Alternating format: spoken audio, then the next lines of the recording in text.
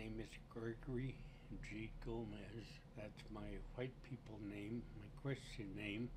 I have a couple of sacred names that have been given to me over the years. In 1974, we were having a youth conference out at Window Rock, Arizona for the tribal people, and a young woman whose last name is So Claw asked me in the afternoon if I had plans. Of course, being coyote, I said, Yeah, my plan is to eat and sleep whenever I get to it. And she asked me if I had ever been out there on the reservation. And I said, No. So she invited me, and we took a long drive to Canyon de Chelly. And as it turns out, one of her grandfathers was a healer, and he did medicine out there close to Spider Rock and he did a coming home ceremony for me. And I never said anything to him about Vietnam, but I guess he looked at me and understood and saw whatever. And he gave me the name He Who Fights Against Evil Spirits. And so I have kept that name since July of 74. I was in and out of Oklahoma as an individual Indian person, and then my first job with the U.S. Department of Health, Education, and Welfare, I was assigned Oklahoma, New Mexico as my states to deal with the tribal governments and the state agencies in the area of child welfare, runaway and homeless youth, abuse, neglect, foster care, adoption, etc. As I said, I had been in and out of Oklahoma a lot for powwows and basketball and softball tournaments, and I had the honor and privilege of meeting a lot of people. Sammy Tone-Kei White, who was an incredible MC for most of his adult life, and I became friends in July of 76 he took me into the Southern Cheyenne Arapaho Starhawk Warrior Society, and that's when I began to officially, formally, traditionally gourd dance. In February of 1980, when I returned from the Bay Area to Dallas to my old job, I was taken in by George Tahbone Sr., who's Kiowa, and he took me into the Kiowa Tia-Piah. So um, Kathy, the children, and I used to go up to Oklahoma for powwows and tournaments or just to visit. But summertime we would go to the ceremonies that the Tia-Piah had. Along that time of the 70s, I met a Creek elder. He was a Baptist minister. He was an NAC practitioner. He was a sun dancer and a very good man.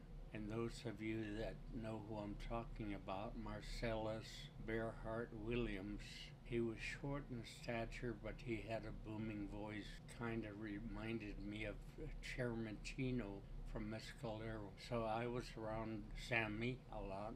I was around Marcellus a lot, professionally and personally. When I retired in 95 and moved out here to Albuquerque, Marcellus was living not too, too far out in Rio Rancho, so I would go visit with him. I got to know and became real good friends with my little sister, Joyce Bakogi Creek and I really don't remember if she and her sister Pauline, who was a director at the Gallup Indian Center, were born out here or raised out here. But anyway, they knew Marcella. So a lot of times I would call Joy up and say, hey, little sis, you want to go see Grandpa? So we would go. So over the years, Marcellus and I got to be closer. One of my Indian Way sisters, Nanette Waller Osage, who got her master's in social work at UT Arlington, which is where I got mine in 74, took over NAN, Native American Alaska Native FAA organization, and for years they were and might still be the premier federal Indian employees organization or association. So Eddie Sandoval, Apache, and I helped her put that together, and consequently, they would invite me every year to come and do training of different kinds and also do talking circle or whatever was needed that I could help. As a consequence of that, they met Marcellus and asked me to bring him to their national once a year meetings so I would invite him ahead of time and he went to four or five different ones including the one held here in Albuquerque. In early 2000 he was in Dallas through Linda Durant who he knew they knew each other and Linda and I were very good friends. She called us up and said Marcellus is in town. I'm having lunch for him tomorrow. I've invited Peggy and Larry Larney, and I'd love for you guys to come. So we went. Our children were little. So we had a, a wonderful time. And he was in and out of Dallas several times through Linda and Mary Helen Deer, who's also Creek. But after I moved out here, that we sp- started spending more time together. I asked him one time if I could call him Uncle, and he said, "Hmm, Uncle. Does that mean I'm going to be a monkey's uncle?" Eh. so he became my uncle. But in the early 80s, we started an institute, which is now the Indigenous Institute of the Americas. And Margaret Donnelly, who basically was funding that out of her pocket, asked me if I would invite him to come down and do a keynote and be there as a healer and medicine man. So he came down we had a two day ceremony at the uh, Fort Worth Livestock, and then Saturday night she hosted a dinner. A banquet, and she asked me to introduce him. So, of course, I did. And I'm standing off behind him right behind his right shoulder. He does his prayer, talks about what he's talking about, and then he says, There's a young man here whom I have known for quite a few years, been around him at different things, and he talked about some of the things that he had been involved with. He said, and here in front of all of these dignitaries, because there were a lot of political dignitaries, especially from Venezuela, but other countries, and you native people know that in our traditions we adopt each other. So I have seen this young man for many years, different places, and in front of everybody here, I went to adopt him. So he turned around and faced me and stretched his right arm out and I of course I was just blown away. I got teary eyed. I stepped up. He put his armor on me, did a ceremonial prayer in his language and then told the people that I was his son. He said, You know, my son got killed in 1964 as part of what was happening in Vietnam. And then my family, the NAC family in Oklahoma, when that happened, they gave me a son. And a few years ago, we were doing ceremony, and some young Indian men came and were being rowdy. Crooked Spirit took over and they killed him. So I have been without a son, but I have a son now. And I told the people when I could talk about how honored I was. I said, you know, my dad died in 1968. When I was in Vietnam, I came home a little early for his funeral, but now I have a dad. So, to make a long story short, as the years progressed here in Albuquerque, we kept seeing each other. I would take my little sister, Joyce Bakogi, with me a lot of times. But before he died, he gave me his name, Bearheart. So I use that sometimes, Gregory Bearheart Gomez. And those are the two names that I use in a traditional way that I share with people as I am right now. I would like to think that those things that came to me, names, ceremonial knowledge, Sundance, are not because I saw it, because I wanted but because somebody saw something, felt something that made me worthy, and in that sense I was brought in. We as Indian people, especially those of us that was raised in a traditional way with their ceremonies. My father's father, whose legal name we didn't find out till he died, was Charles Eli Gomez, and of course everybody knew him as Papa Elias. And he was the youngest of the first wife. When that wife died, the old man, my great grandpa, remarried. So I knew a lot of my grandparents from both wives, my dad's and mom's, because in our traditions and culture, we don't have aunts and uncles. All the brothers and sisters of our grandparents are grandparents. All the brothers and sisters of our parents are parents. We don't have cousins, they're brothers and sisters. That's the way I was raised. That's what I believe, and that's what I try and practice. So I have DNA and Indian way family that are very, very important to my life and my family and in Indian country. Because without them, life would be even more difficult than it is. Because their love and prayers, their concern is part of what I learned and grew up with in creation. There were times when I grew up doing migrant work, so we did a lot of traveling, but there were a couple of long trips that my mom and my siblings took, and I stayed with my dad. I love my dad and I love being around him. So Grandpa would come and stay with us, and I learned a lot from watching him, from listening to him, and asking questions. And one of the things that I have shared with people over the years the old people would say the first thing you do when you wake up in the morning is you give thanks to Great Spirit. You give thanks to Creator because you've been given a new day, a new lifetime. You have been allowed to awaken from the little death, which is what they referred to as sleep. So that's part of what I grew up with. My dad was a hunter. We basically were raised when we were home around my mom's Lipan Apache people down in what is now present day Padre Island, White People's Way, Rio Grande Valley. And it's funny, my brother Chico and I used to laugh and tease him because you guys talk of being from the valley as if it's the only valley that exists. and uh, now I reside in the South Valley of Albuquerque, but that's another story.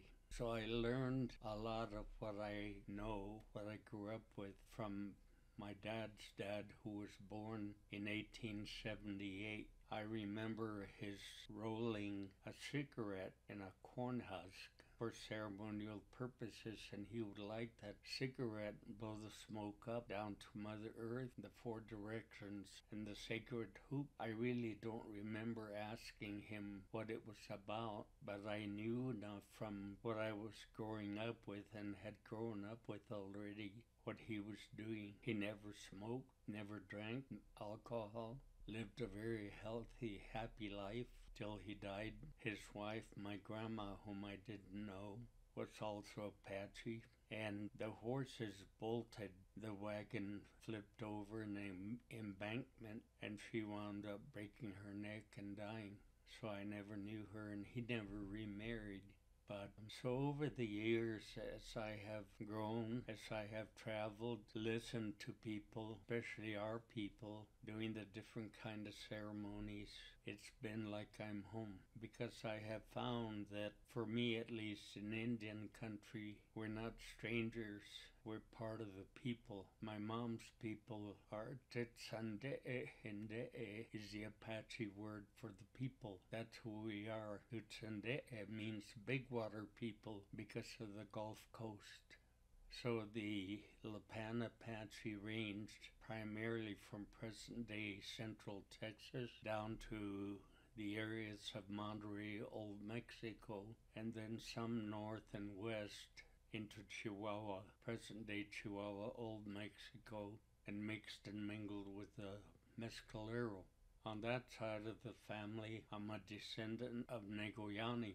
Negoyani in our language means old man of wisdom and Chief Gomez is written up in the military history as having terrorized the San Antonio Road from present day San Antonio, Texas, into El Paso and down into Chihuahua. And I always chuckle because when you're fighting for your land and your people, you're not a terrorist you're a warrior. And so Negoyani is written up in history as Chief Gomez. So that's where my Mescalero bloodline comes from. Unfortunately, starting with the 13 original colonies, a lot of our people wound up being placed on reservations. A lot of our people wound up fighting for the British or the French or the Americans, and they kept pushing us further and further west. Oklahoma has 39 federally recognized tribes and one reservation, and that's the Osage people. So, Osage County in Oklahoma is a reservation two feet below topsoil. That means that anybody can go into Oklahoma, Osage County, and buy and own land, but only the top two feet, which means that all the mineral rights, water rights, etc., belong to the Osage people. A lot of people don't know, including Indian people, is that the first case that the FBI worked on was because non Indian people were coming into Oklahoma, killing off the Osage, and claiming head rights. So that's part of our history, part of our heritage, part of what has, has and is still happening to us. When I talk to people, one of the things that I say is that we, indigenous people, North Pole to South Pole, have experienced and lived and survived is generational trauma. Uh, who I have spoken. I'm going to ask because the you know Dr. Gonzalez, there is the Plant Cruzer guiding values, and that's listed as respect, responsibility, relationship, reciprocity, regeneration, and redistribution. I know that you were a part of that, a part of the six guiding values. So, what can you tell me?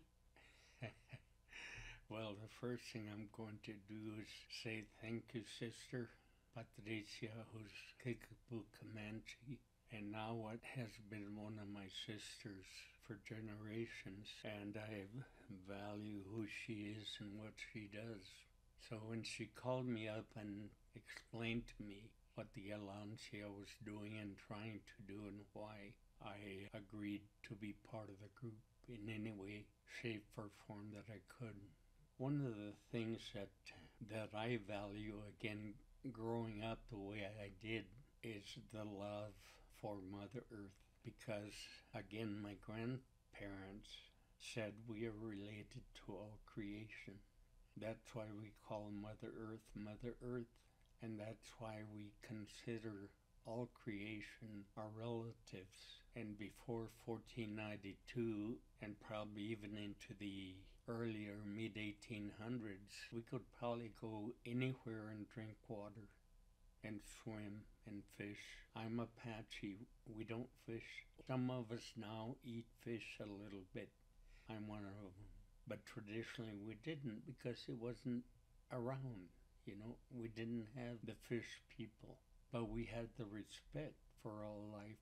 We had the care eh, to protect respectfully and with love.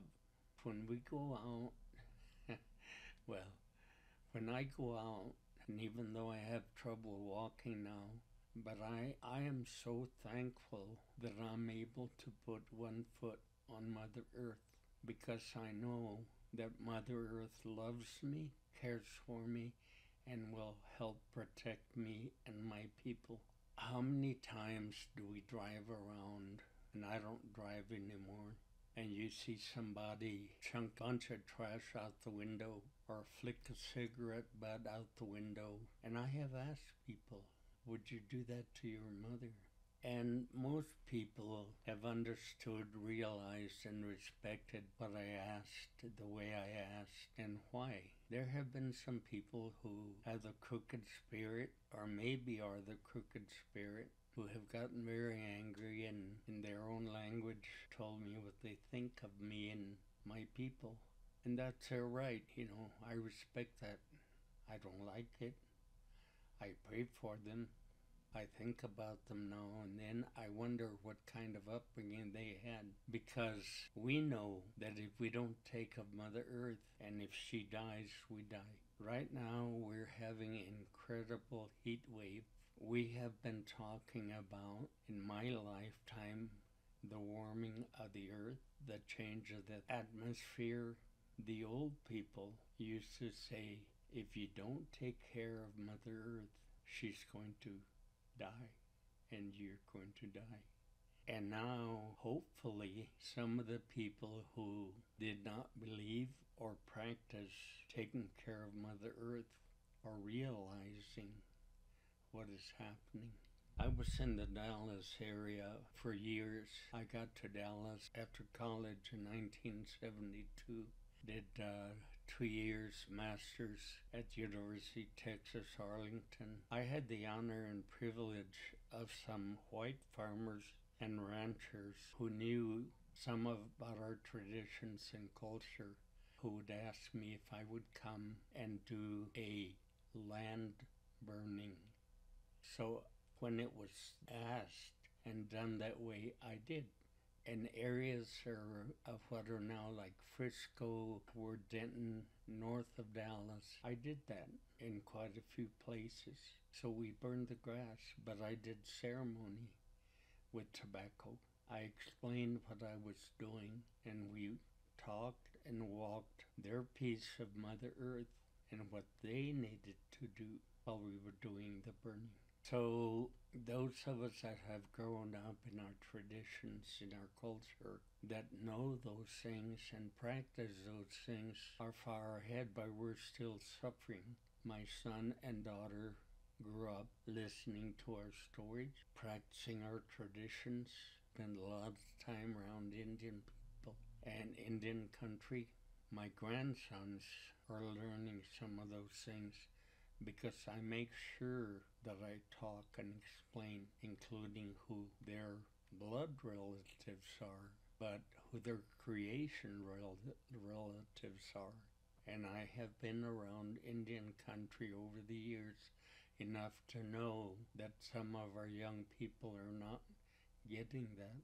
In 1978, when I walked away from federal government, the biggest problem in Indian country was alcohol. I came back in 1980. Drugs had been introduced to the reservations.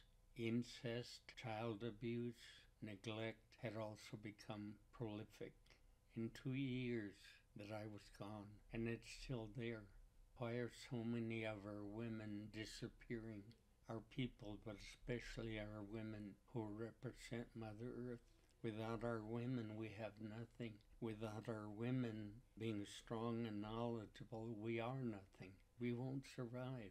But because of what we have learned or chosen to learn and do from the outside society, we as people, and certainly we as men, have become very abusive.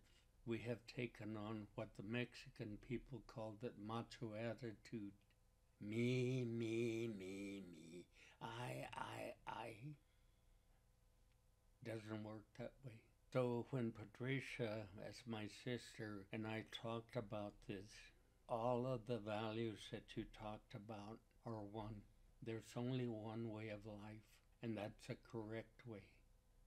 The traditional way, the Red Road way. We can separate, we can divide, it doesn't matter. There's only one life giver. There's only one creator. There's only one great spirit, no matter what we call that entity. And if we do not respect ourselves and try and implement the best of our ability, self respect, self love, love for all creation, care and protection for all creation, why are we here? Why are we here? Aho, I have spoken. I'm going to say thank you in Yaqui.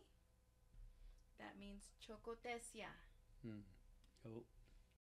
Thank you, friends and relatives, for listening to the Indigenous Podcast Without Borders. The music in this episode was called Fruto de Sonora and was composed by Ms. Soden on SoundCloud. If you are further interested in our organization, you can visit our website at indigenousalliance.org.